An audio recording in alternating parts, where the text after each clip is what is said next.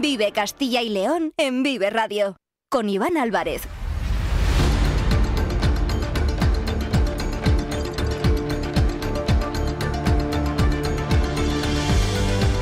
Hola, muy buenas tardes, bienvenidos, bienvenidas a Vive Castilla y León, este espacio que les acompaña de lunes a viernes desde las 2 y cuarto hasta las 3 en punto de la tarde. Tenemos por delante 45 minutos para acercarles aquellos asuntos que son de interés en nuestra comunidad. Nos pueden escuchar a través de la FM de toda la vida en nuestra página web www.viveradio.es, en todas nuestras plataformas de streaming y de podcast y en las redes sociales de Vive Radio con el sonido perfecto de nuestro técnico Ángel de Jesús.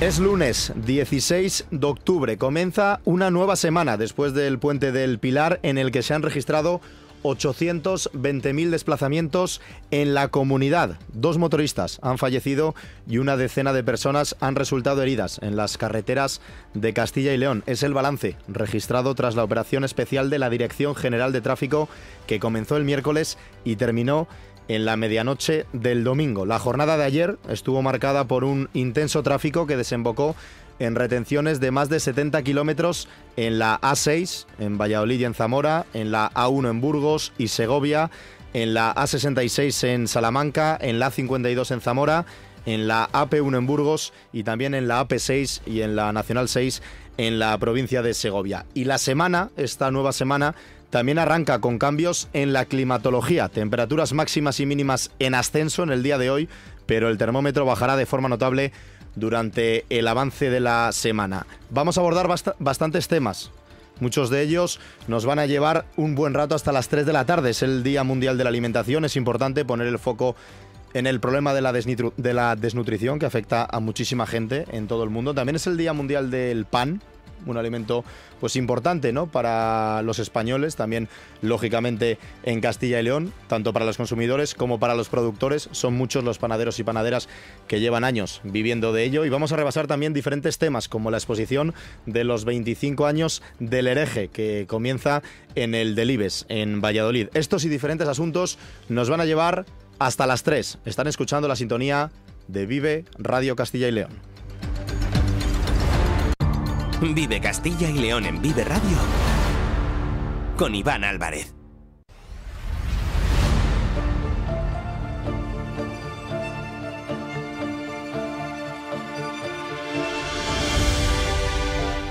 El pasado jueves, día 12 de octubre, finalizó en Castilla y León el periodo de peligro alto de incendios forestales. Recordamos que nuestra comunidad fue la más afectada por el fuego durante el verano de 2022 en toda España, con más de 100.000 hectáreas abrasadas el pasado verano. ¿Quién no recuerda sobre todo esos incendios en la Sierra de la Culebra, en Zamora? Estos datos contrastan, por fortuna, con los de este año. 755 hectáreas de superficie arbolada quemadas y 3.345 de superficie forestal, lo que supone un 97% menos de superficie afectada. Ojalá algún día no hubiera ninguna hectárea, ninguna superficie forestal afectada, pero bueno, hay que celebrar que por lo menos los datos se han reducido considerablemente. Según estos datos oficiales de la Consejería de Medio Ambiente, la mejora de las estadísticas es evidente. Hasta el 10 de octubre, el número de incendios era un 33% menor que la media de los últimos 10 años, aunque el número de conatos es un 14% mayor. Los datos de superficies afectadas, en todo caso, son considerablemente inferiores a la media de la última década. La declaración de peligro medio que anunció desde la Consejería de Castilla y León el pasado jueves implica que, según asegura la propia Consejería, a pesar de haber finalizado la campaña de incendios, mientras duren las condiciones meteorológicas actuales, se mantendrá un importante despliegue de medios que permita prevenir y controlar cualquier posible conato con personal de guardia, agentes medioambientales y técnicos especializados en extinción, así como medios aéreos, autobombas y cuadrillas nocturnas. Esta mañana se ha inaugurado en Valladolid el curso FECIL 2301, delitos contra el medio ambiente e incendios forestales, en el que ha estado presente el consejero de Medio Ambiente, Vivienda y Ordenación del Territorio, Juan Carlos Suárez Quiñones. Y ahí ha estado el eh, compañero de Vive Valladolid y Vive Castilla y León, Alberto Sánchez. ¿Qué tal, Alberto? Buenas tardes. ¿Qué tal? Muy buenas tardes. Pues cuéntanos, eh, ¿qué han hablado, qué han anunciado en este acto y sobre todo también en qué consiste este curso de delitos contra el medio ambiente e incendios forestales? O sea, el, evento hoy principalmente ha tenido eh, esa finalidad de tratar el tema de, la problemática de los incendios en Castilla y León desde diferentes puntos de vista. En lo institucional, Suárez Quiñones. En la parte penal, la parte legal, lo ha hecho Santiago Mena, el fiscal superior de Castilla y León. Entonces se buscaba el tratar desde la parte legal y penal, además de eh, toda la parte institucional en cuanto a datos y el posicionamiento de, de la Junta de Castilla y León. Y cuéntanos, ¿qué han contado? Eh, pues el Santiago Mena, el, fiscal superior de Castilla y León, ha incidido sobre todo en, la prevención y la colaboración de, todas las, fuerzas y cuerpos de seguridad junto con, la Junta y ha incidido sobre todo en, esa colaboración fundamental de, los vecinos de los propios municipios afectados, porque considera que sin ellos no se identifica a, a ese pirómano o a esos eh, involucrados en, los que las personas que provocan esos incendios eh, ante la dificultad clara de, identificarles personalmente, ponerles un nombre y un, rostro propio, incidía en, esa importancia de cualquier tipo de colaboración para eh, poder parar toda la problemática de, los incendios.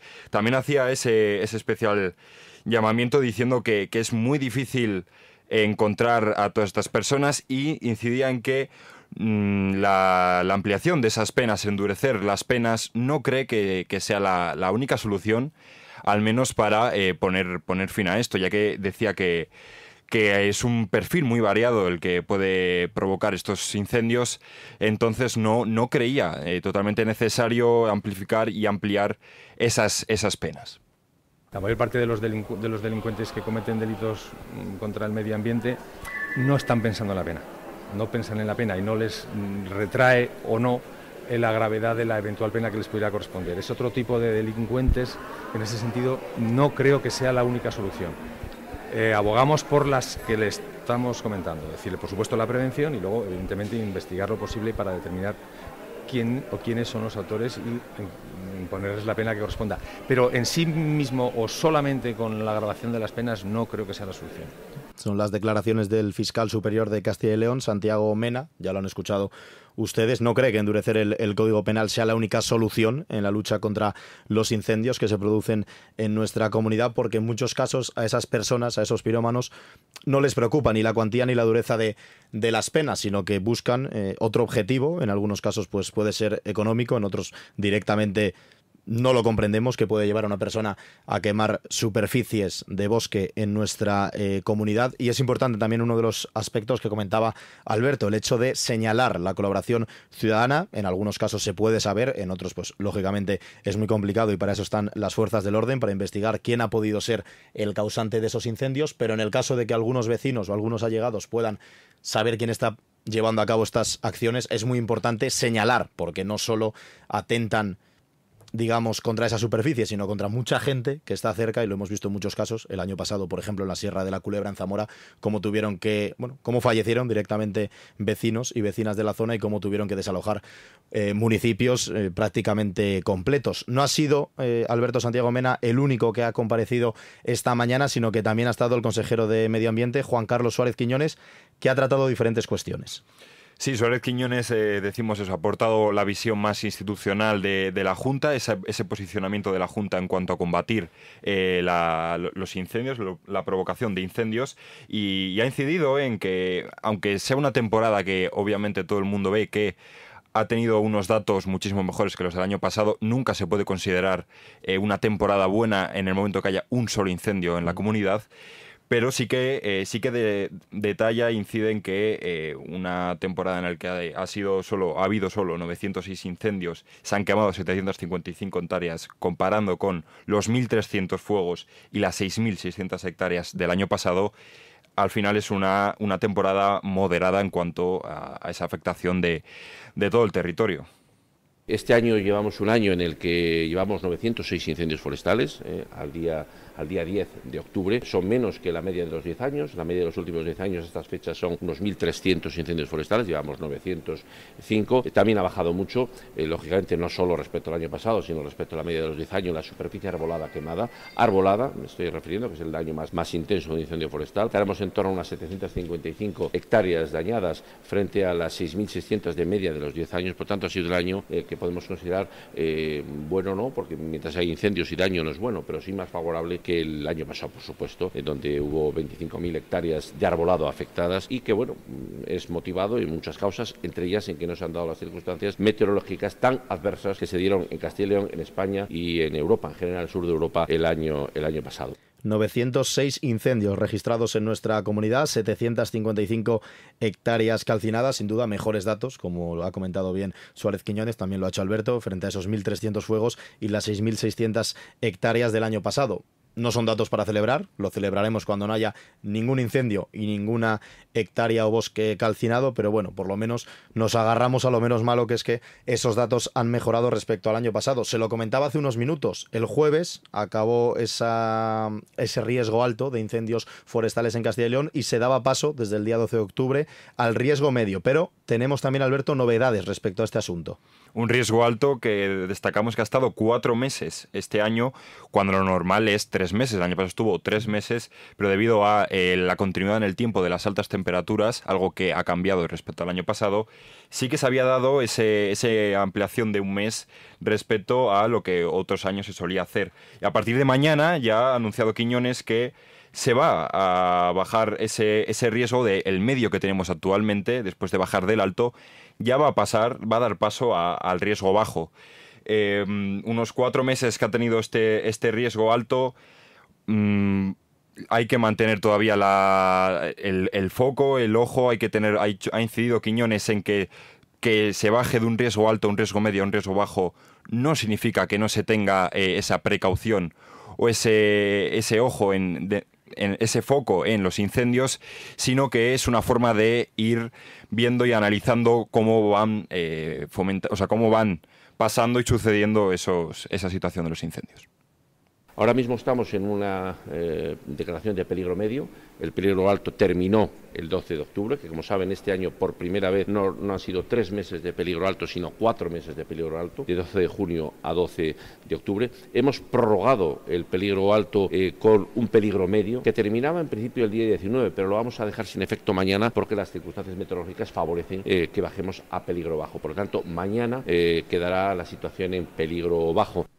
El riesgo medio que ha sido prácticamente testimonial desde el jueves hasta el martes, apenas eh, cuatro días, así que pasamos de esos cuatro meses de riesgo alto de incendios en Castilla y León a ese riesgo bajo, ya desaparecen las altas temperaturas, se ha acabado el verano, esta semana ya llegan las precipitaciones, el descenso en los termómetros va a ser eh, notable, vamos a pasar de esos 20-22 grados que tenemos a principios de esta semana, que estamos viviendo hoy lunes en prácticamente toda la comunidad, a el jueves o el viernes que vamos a bajar sobre todo las máximas a los 13 o 14 grados, todo esto, lógicamente, influye en que haya menos riesgo de incendios. Y otro asunto que se ha tratado, Alberto, es la situación, siempre reivindicando los bomberos, los profesionales que se dedican a la extinción de los incendios. Suárez Quiñones, el consejero, también ha hablado sobre esta situación. Sí, hoy le han vuelto a preguntar sobre esas continuas exigencias de los bomberos forestales respecto a eh, los, la planificación en cuanto a esa gestión de los incendios y en cuanto a los materiales y elementos, herramientas que tienen esos bomberos forestales para controlar estos incendios. Ha incidido en que él siempre va, va a respetar y va a entender que se pida más, más medios, que siempre va a beneficiar eso a la extinción de los propios incendios, pero lo que no quiere es que, estas entidades, que estas asociaciones pretendan gobernar cuando eso eh, es prioridad de la Junta y es la exigencia que se le, que se le da a la Junta de Castilla y León. Entonces incide en que eh, no, se, no se sobrepasen de, esas eh, labores que no son las que, según el propio consejero, tienen en sus competencias.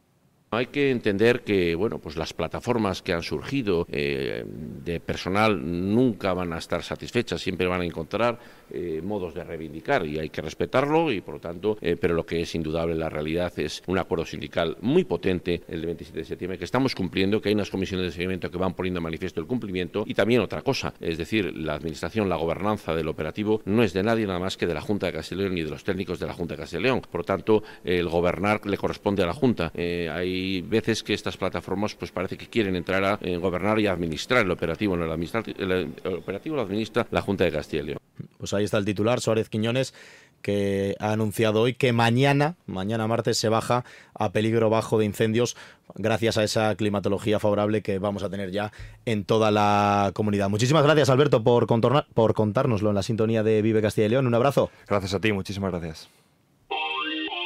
El sector primario en Castilla y León es el protagonista cada mañana en Vive Radio. Desde las 7 y 10 de la mañana, de lunes a viernes. De lunes a viernes. Jaime Sánchez Cuellar te ofrece toda la actualidad informativa relacionada con la agricultura y la, ganadería. y la ganadería. Para estar al día. Para estar al día. Vive el campo.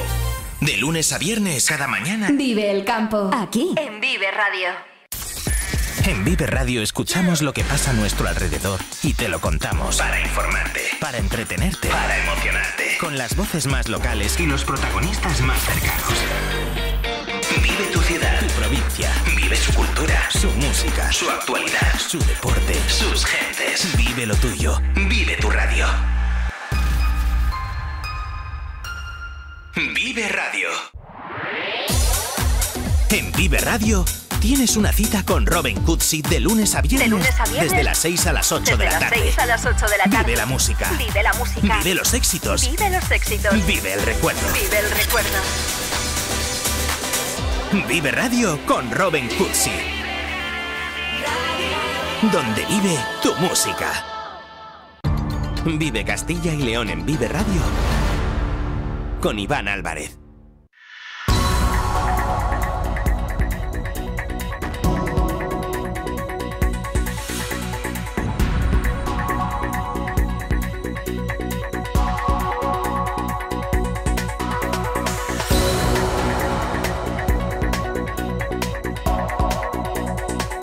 Son las 2 y 32 minutos de la tarde. Más de 800 millones de personas en todo el mundo padecen hambre. Son datos del informe sobre el estado de la seguridad alimentaria y la nutrición en el mundo. Según UNICEF, 200 millones de niños y niñas sufren algún tipo de desnutrición. Son muchas, muchísimas las personas que no pueden permitirse una alimentación sana, rica y variada y esto repercute directamente en su salud. Para luchar contra ello, o al menos para intentarlo, existe el día de hoy, 16 de octubre, Día Mundial de la Alimentación. Queremos aprovechar esta fecha para destacar el trabajo que realizan diferentes entidades y organizaciones. En Castilla y León, más de 40.000 personas y colectivos desfavorecidos van a poder acceder a los alimentos que serán repartidos a través de la Federación Española de Banco de Alimentos y de Cruz Roja. Este reparto de productos forma parte de la segunda fase de entrega. Aquí, en nuestra comunidad, ya se entregaron 544.663 kilos en la primera fase, que se desarrolló entre los meses de abril y mayo. El Ministerio de Agricultura, Pesca y Alimentación, a través del Fondo Español de Garantía Agraria, desarrolla el programa 2023 de ayuda alimentaria a las personas más desfavorecidas, repartiéndose de forma gratuita 36 millones entre kilos y litros de alimentos en toda España. De las 22 empresas que aportan alimentos en la segunda fase de este programa FEAD 2023, tres tienen su sede en nuestra región. Legumbres Panelas de Villarejo de Órbigo, en León, que aporta garbanzos cocidos. Legumbres Luengo, en Riego de la Vera, en León, que proporciona alubias cocidas. Y Galletas Gullón, de Aguilar de Campó, en Palencia. Y queremos hablar con una de esas asociaciones, con una de esas organizaciones que contribuye a que el hambre pues, se reduzca, por lo menos de alguna forma, en nuestra comunidad. Carlos Santos es el secretario autonómico de Cruz Roja Castilla y León. Señor Santos, buenas tardes. Hola, buenas tardes. Bueno, en el Día Mundial de la Alimentación, cuéntenos la labor que realizan durante todo el año desde Cruz Roja para ayudar a esas personas que, acuden a organizaciones como la suya para poder alimentarse.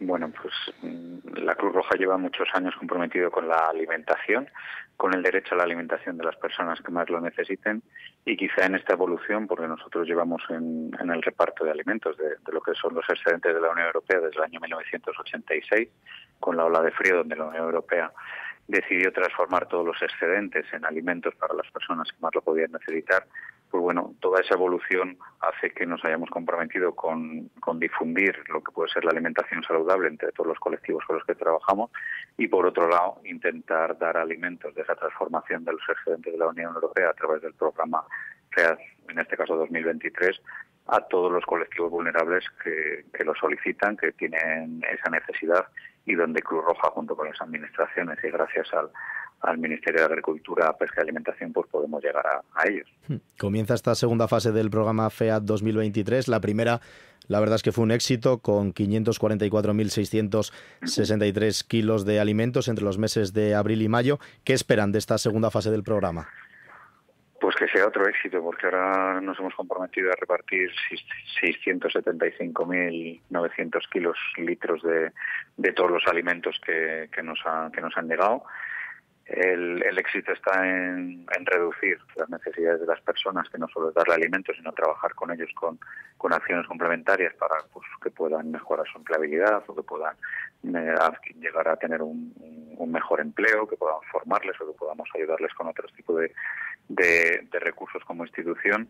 Pero al final en Castilla y León llegar a, a más de 40.000 personas con el tema de alimentos, pues bueno, por un lado preocupa por la situación de esas personas y por otro lado pues bueno, la tranquilidad de tener unas organizaciones, tanto el Banco de Alimentos como Cruz Roja en este caso, donde la Administración confía en nosotros para poder hacer efectiva todo este reparto de alimentos. Y son muchísimos kilos litros, son muchas las empresas que colaboran en este en esta transformación de alimentos y efectivamente pues empresas de Castilla y León que también entran en este en esta transformación con lo cual no deja de ser una, una apuesta importante por las empresas de nuestra de nuestra comunidad. Estamos hablando de, de kilos y de litros, pero ¿cuáles son esos alimentos que se van a repartir, esos productos entre estos colectivos vulnerables? Mira, los, los alimentos ahora, bueno, es ahora mismo arroz, hay una parte importante de garbanzos, hay mucho conservas de atún, hay conservas de carne, en la parte de pastas tenemos espaguetis y fideos, hay tomate frito, hay galletas, que es lo que transforma agullón, hay macedonias de verdura, hay temas de, de cacao y y chocolate y, y, luego está la parte de alimentos infantiles que también se, se vio que era una derivada importante con, con todo lo que puede ser tarritos infantiles para los, los menores a cargo de las personas que, que nos lo solicitan. Tenemos pues la, la, triste noticia de que no hay aceite, que otros años sí que ha habido aceite, de que ya no hay leche y bueno, se va adecuando las la, los excedentes a lo que van comunicando los países con lo que pueden aportar y, y, en este caso esta segunda fase van a ser estos los alimentos que, que repartimos.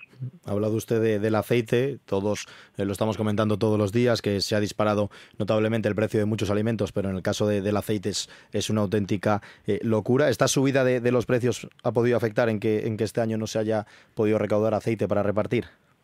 Sí, claro, claro. Eh, hay mucho menos eh, no se genera ese excedente, la, industria del aceite pues lo ha manejado de otra forma y, lo, lógicamente pues no es uno de los productos para repartir en, todo lo que es la batería de alimentos que, el FEAD nos, nos, nos facilita, con lo cual pues bueno tristemente no podemos facilitar aceite a, a las familias, que es uno de los de los alimentos más saludables y más deseados.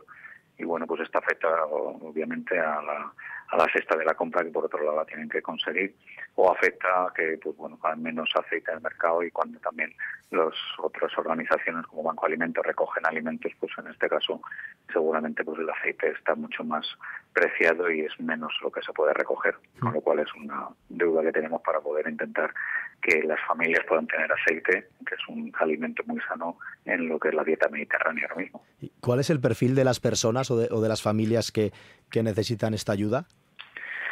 Bueno, pues principalmente son familias que están en una situación de vulnerabilidad, que tienen unas condiciones, vamos a decir, económicas que no llegan para, para cubrirse esas necesidades básicas que puede tener cualquier persona y que recurren a instituciones como Cruz Roja para poder para, para solicitar esta ayuda. Yo insisto, la, ayuda por los alimentos es, es una ayuda más. Nuestra filosofía de trabajo es que los alimentos tienen que ser una, un reflejo de una situación y donde tenemos que ayudar a las personas a mejorar su, sus condiciones de vida, que se refleja en la falta de alimentos y se refleja en otras en otros parámetros que nosotros llegamos a evaluar para que podamos echar, echar una mano no solo dando arroz y garbanzos, sino también echando una mano pues en ayudas puntuales, en, en ayudas económicas o en ayudas para, para todo el tema de empleo que, que muchas de estas familias pueden necesitar. ¿Y qué tienen que hacer eh, las personas, las familias, para poder beneficiarse de, de estos productos? ¿Qué criterios hay, hay que seguir? Bueno, nosotros mm, tenemos como aliados a 108 entidades de, de reparto que colaboran con, con, con, Cruz Roja, que son entidades que, el Ministerio también valida, que son ayuntamientos, que son eh, algunas asociaciones que, que, nosotros a los que nosotros facilitamos reparto, que son los que tienen usuarios para poder repartir más allá de los usuarios directos que puede tener la Cruz Roja. La Junta de Castilla y León también tiene habilitado el, el teléfono 012 para que pueda, la gente pueda pedir alimentos en caso de, de necesidad urgente y que nos derivan a nosotros para que podamos luego valorar la situación y derivar a una de las entidades que están en su en su zona o directamente gestionarle los alimentos a través de Cruz Roja. Sí, sí. Normalmente se suele acceder a través de los CEAS, de los mm. de los centros de acción social de su de su zona para poder solicitar más allá de los alimentos transmitir la situación de vulnerabilidad y que entre todos y todas podemos ayudar a, a las personas a mejorar y a dignificar su, su vida. Pues son 675.000 entre kilos y litros de alimentos que se van a repartir en esta segunda fase del programa FEAT 2023. Queríamos darle voz, lógicamente, y agradecerle a Carlos Santos, el secretario autonómico de Cruz Roja en Castilla y León, la labor que realizan y que nos haya atendido en directo en la no, sintonía de Vive Castilla y León. Muchas gracias a vosotros, Iván. 20 minutos para llegar a las 3 de la tarde. Seguimos en directo con más asuntos aquí en Vive Radio.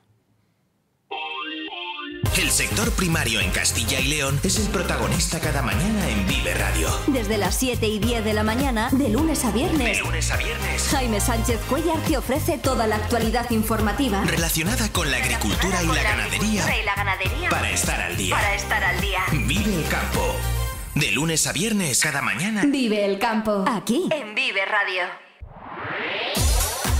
En Vive Radio tienes una cita con Robin Cutsi de lunes a viernes. De lunes a viernes. Desde las 6 a las 8 Desde de la las tarde. 6 a las 8 de la tarde. Vive la música. Vive la música. Vive los éxitos. Vive los éxitos. Vive el recuerdo. Vive el recuerdo.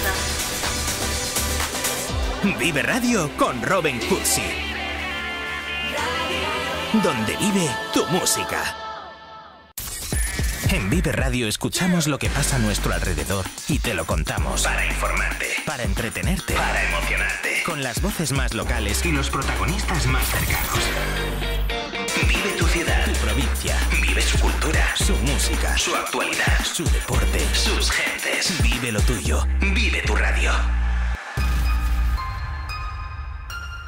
Vive Radio. Vive Castilla y León en Vive Radio con Iván Álvarez.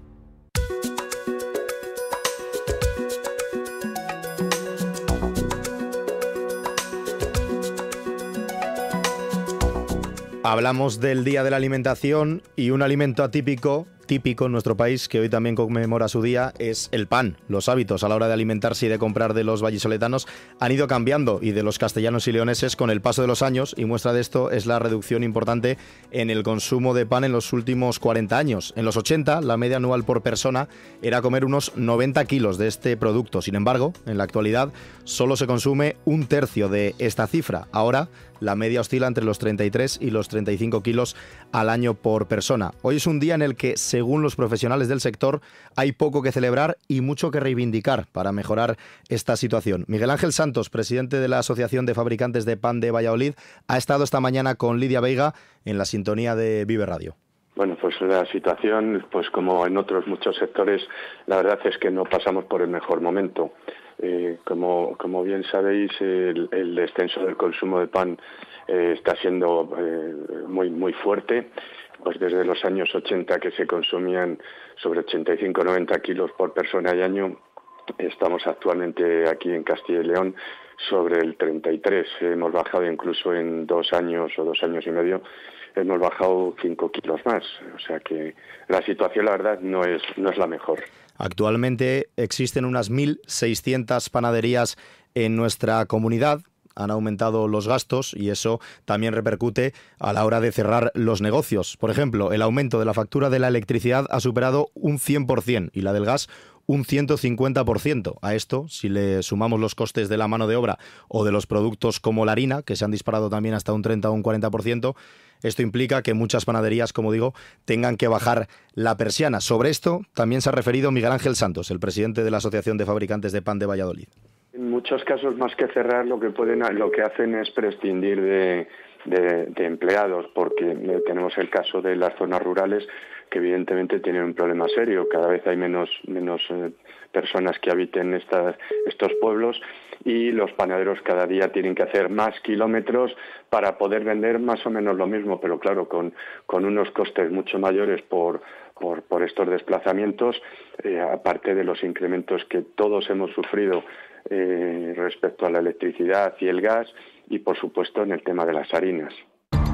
Vive Castilla y León en Vive Radio con Iván Álvarez.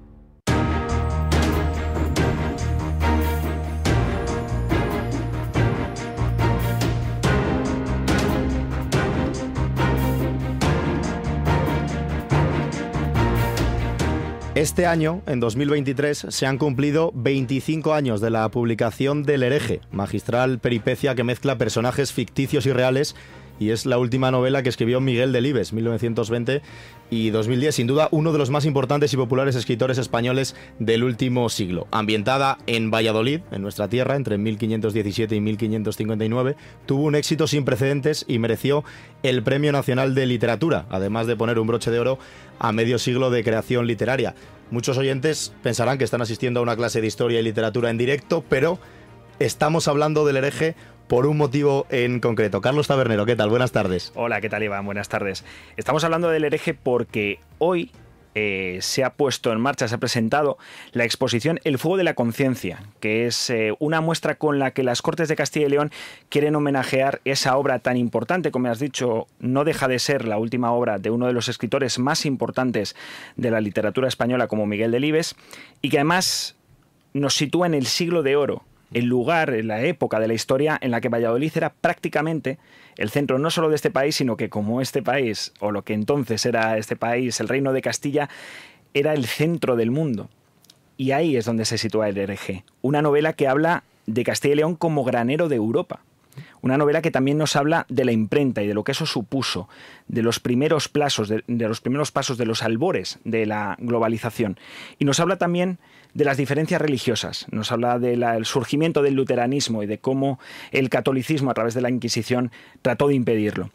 Todas esas ideas y muchas más que hablan del cambio social, económico, político y religioso que se estaba produciendo en esos momentos, es de lo que nos habla el hereje. Y un valor fundamental, la libertad de conciencia una cuestión que siempre priorizó Miguel Delibes en sus obras. Vamos a saludar a Juan Zapatero, que es el director de la Fundación Castilla y León. Juan, ¿qué tal? Buenas tardes. Hola, buenas tardes. encantado. Yo creo que os, podéis llevar directamente a Carlos porque, vamos, ha hecho un anuncio y una exposición espectacular de esta exposición, ¿eh? Le contratamos para guía, eh, para las visitas guiadas. Cuéntenos en qué consiste exactamente la exposición. Bueno, eh, él lo ha explicado muy bien. Es una muestra que pretende, por un lado, homenajear al escritor y a la que es sin duda su novela más eh, singular, la más leída probablemente también, y eh, a la vez ayudarnos a recrear la época en la que está ambientada la novela, el siglo XVI, y a transmitir un mensaje que mm, por suerte o por desgracia, hoy sigue enormemente vigente, que es la importancia de la libertad, de la libertad en su más amplio sentido de la palabra, libertad religiosa, pero también libertad de conciencia, libertad de expresión, libertad de reunión, todos esos son eh, problemas eh, que teníamos en el siglo XVI, por el que mm, algunas personas tuvieron que pagar eh, con su vida y hoy en algunas zonas del mundo no me atrevería yo a decir que no siga pasando, pero incluso donde podemos decir que no, como es nuestro caso, tampoco estoy tan seguro de que siga sin, de que no haya eh, censura y de que no haya miedo en muchas ocasiones a ser coherente con nuestras propias creencias y con nuestras propias ideas. Habrá, Juan, un centenar de piezas. Eh, no sé qué se puede encontrar el visitante, qué es lo más destacado de entre todo lo que mm, configura esta exposición. Bueno, eh, elegir una pieza efectivamente entre 100 que nos han prestado 40 instituciones y museos de los más importantes que hay, eh, no en Castilla y León, sino en toda España, entre los que está el Museo del Prado, el Museo Lázaro Galdiano, el Nacional de Arqueología, eh, mm, archivos históricos, bueno, no, no puedo citar a, los 40 aquí, eh, y elegir una única pieza es, es difícil. Hay algunas muy singulares. Eh, tenemos, por ejemplo, el, único retablo completo eh, que está creado con esmalte de limos y que se conserva entero. Hay algún, hay otros dos o tres en el mundo, en, el, en, San Petersburgo, en París, pero que no están completos. Este es el único completo que hay en el mundo y es una pieza, además de muy, muy hermosa, eh, difícil, difícil de ver y, como digo, única en el mundo. Hay esculturas de Berruguete, hay eh, esculturas de Juan de Juni, hay mm, libros verdaderamente singulares como un ejemplar original de la Biblia del Oso, una Biblia luterana, o de la Biblia políglota del Cardenal Cisneros. Eh, es muy difícil elegir, seguramente sería igual de difícil elegir 10, pero una es casi imposible. Entiendo, Juan, que una exposición así, con tantas colaboraciones, pero sobre todo con tantas piezas de, una importancia, de una relevancia cultural como la que nos comenta, tiene que ser muy complicado, ¿no? Eh, montarla y ponerla en marcha. El otro día estábamos en las Cortes de Castilla y León y veíamos que quizás sea una de las más importantes que se han organizado dentro de la sede de la institución parlamentaria de Castilla y León. Pues probablemente. Eh, desde luego, eh, con, con, esta dimensión, eh, bueno, no, no, puedo olvidarme, porque también tuve yo la suerte y el privilegio de poder contribuir a ella de la exposición de comuneros en el año 21 con mm. ocasión del quinto centenario, pero probablemente sea la única que esté a, a la altura. Y sí es verdad que es, es mucho trabajo, mucha coordinación, mucha generosidad de, muchas personas e instituciones y mucho tiempo, pero al final creo que el resultado vale la pena. Creo que hemos, lo decía esta mañana en, una presentación a vuestros compañeros, eh, creo que hemos conseguido hacer un pequeño milagro eh, y hemos vuelto a transformar un espacio que no está expresamente pensado para ello en un espacio mágico eh, que nos lleva al siglo XVI, que nos lleva a un mundo y, a, y a una manera de entender el mundo eh, muy distinta de la nuestra y a la vez muy actual. Para convencer al posible visitante, ¿se va a poder sumergir entonces en ese siglo de oro?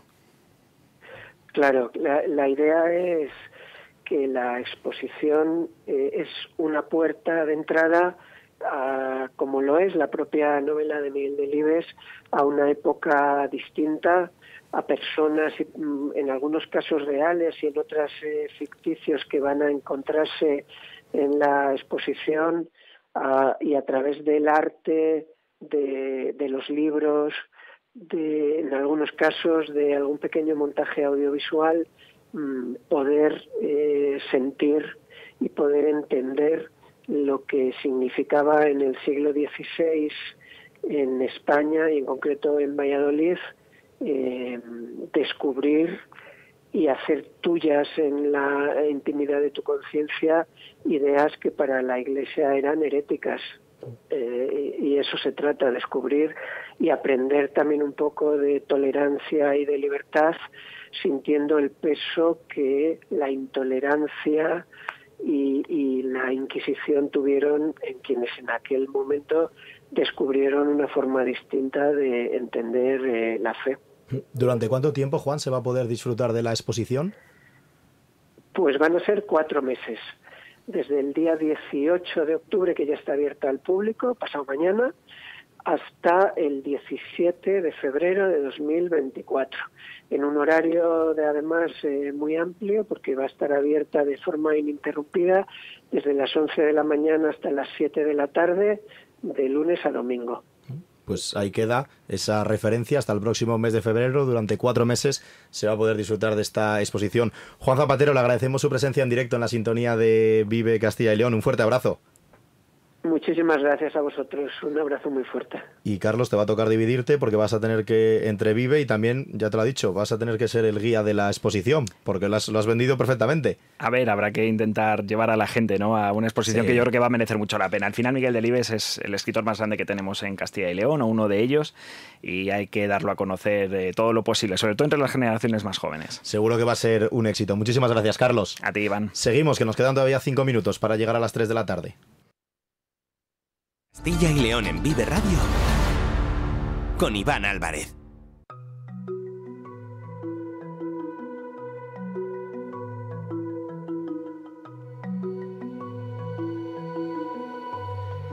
Hace unas semanas les contábamos la historia de un pueblo de Burgos, de unos vecinos de una localidad burgalesa, que se habían unido para restaurar su iglesia.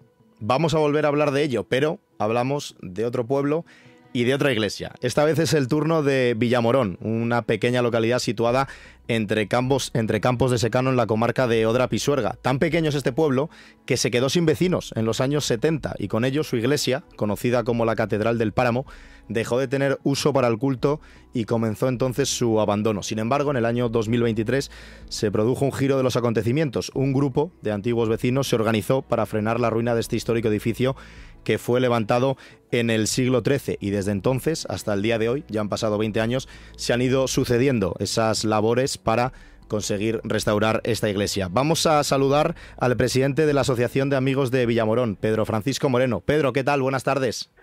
Muy buenas tardes, Iván. ¿Qué tal estáis? Cuéntanos cómo es la situación actualmente de la iglesia y cuál es la última labor que habéis llevado a cabo para restaurarla. Bueno, pues la situación es que gracias a la importante consolidación de la Junta de Castilla y León en 2009-2010 se pudo salvar de la ruina, pero quedó todo su interior por restaurar.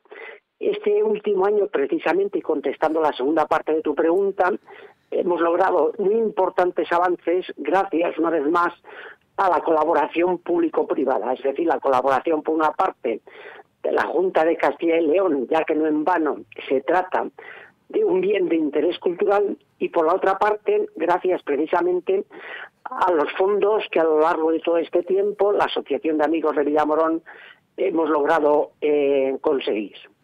¿Cuánto dinero necesitan actualmente para eh, restaurar el retablo mayor?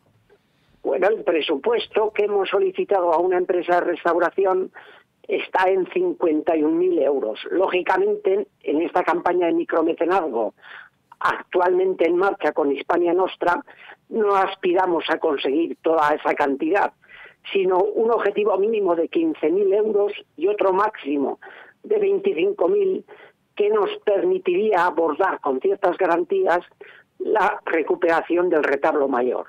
¿Y cuánto han recaudado ya?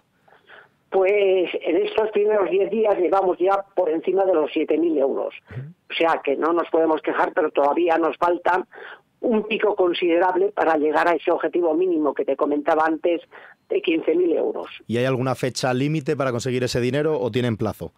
Pues en principio tenemos hasta final de mes, seguramente Hispania Nostra nos conceda una pequeña prórroga hasta primeros de noviembre. Yo espero que con las actividades que vamos y estamos programando a lo largo de todos estos días, como por ejemplo este miércoles por la tarde a las 5 tenemos una visita guiada con los técnicos de la empresa Batea Restauraciones que se están encargando de hacer unas obras ahora muy importantes, pues atraiga a gente. Y luego también el sábado 21 a las 6 de la tarde tenemos un concierto de música que esperemos también atraiga a gente, conozca la iglesia, conozca este proyecto de micromecenazgo en marcha y se anime a hacer alguna aportación. Pues ojalá así sea, porque tenemos más o menos 15 días por delante, aunque se pueda ampliar el plazo para conseguir la mitad de esas aportaciones, que son aproximadamente unos 7.500 euros. Ojalá así sea, le agradecemos que nos haya contado la historia Pedro Francisco Moreno en la sintonía de Vive Castilla y León y sobre todo que consiga salir adelante y se, bueno, pues se restablezca esta iglesia de Villamorón en la provincia de Burgos. Un abrazo. Pues un abrazo, Iván, a todos vosotros. Y nosotros ya estamos llegando al final. Ha comenzado esta nueva semana, ya lo saben, lunes 16 de octubre. Les citamos mañana, mismo sitio, misma hora, a partir de las 2 y cuarto, en la sintonía de Vive Castilla y León. Cuídense y sean felices. Hasta mañana, adiós.